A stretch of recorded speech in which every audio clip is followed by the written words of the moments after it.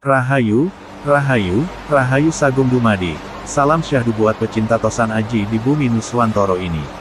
Pada kesempatan kali ini, kita akan membahas tentang mantra Sinengker untuk mendapatkan anugerah sebuah pusaka atau mustika dari Kanjeng Ratu Kidul, atau yang dikenal dengan nama Ratu Pantai Selatan.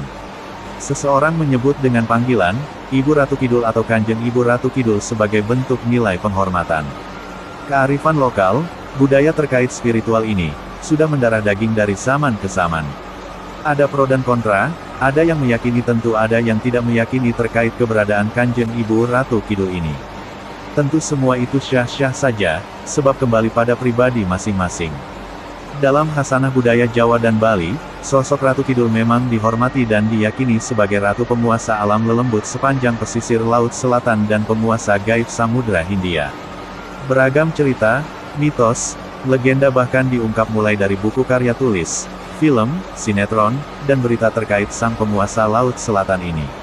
Tak heran menjadi populer bahkan siapa pun dengar nama Ratu Kidul pasti mengetahui bahwa beliau penguasa pantai selatan.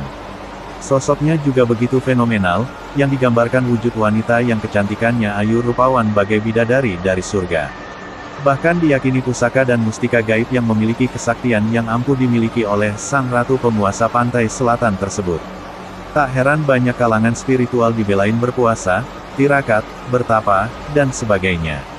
Hanya untuk mendapatkan anugerah sebuah pusaka atau mustika agar berguna dan bermanfaat untuk dirinya dalam kehidupannya. Gentur lelakune anggayu opo kang dadi kekarepane.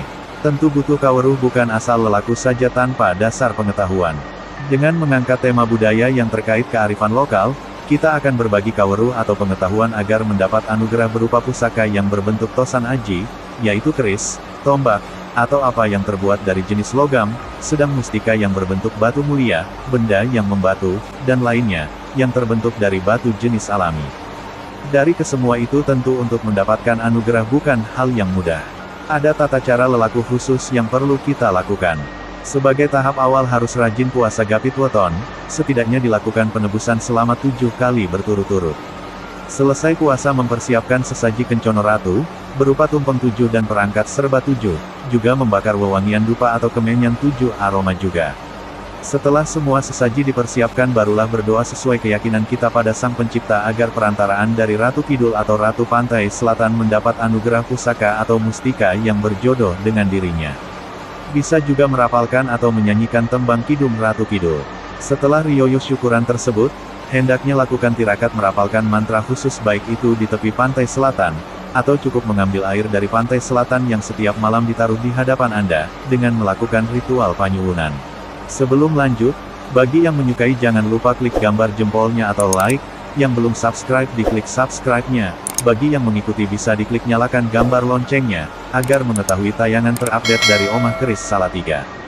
Kita lanjut kembali. Adapun apa mantranya? Mantra Sinengker ini sengaja tidak ditulis dalam bentuk teks, jadi cukup didengar baik-baik, bila perlu putar ulang agar bisa menghafal mantranya. Mantra Sinengker yang didapat dari Mahaguru Grand Master Kejawen. Adapun mantranya sebagai berikut, Hyang Sang Hyaning Tumitis Wahyu Cokro Jayaningrat, Bekti Daulat, Pulo aturaken dumateng ratu kang pinendem ono tengahe segoro, nyuwun kanugrahan, pulunge pusoko utawi mustiko kusumaningrat, turun si tumeko, berkah kersane gusti Allah kang akaryo jagat, lumantaran sang ratu dewi sekar moyosari dia ayu kencono, arane kanjeng ibu ratu kidul, mugi menopo engkang kulo sedio saget jumedul, sat matdat, rat kiatnat, Mantra ini dibaca berulang kali dalam satu bakaran nyala dupa, ini dilakukan rutin setiap tengah malam. Jika waktunya tiba, jatuh pulung mendapat anugerah, maka akan ditemui beliau sang penguasa Laut Kidul. Di situ akan mendapatkan petunjuk, atau langsung diberikan sebuah pusaka atau mustika. Tentu Sopo temen bakal tinemu. Hal ini bukan sesuatu yang mudah seperti membalikkan telapak tangan, butuh usaha keras dalam lelaku yang satu ini. Semua tergantung pada upaya dan usaha kita sendiri. Tidak disarankan bagi yang hanya sekedar iseng atau coba-coba saja. Mengenai hal budaya kearifan lokal kejawen ini, disinengkerkan, sebab lelaku berat dan butuh tekad bulat dan kemauan yang kuat. Sebuah kaweruh yang hanya ditemukan di channel ini terkait dunia Tosan Aji dan budaya kearifan lokalnya.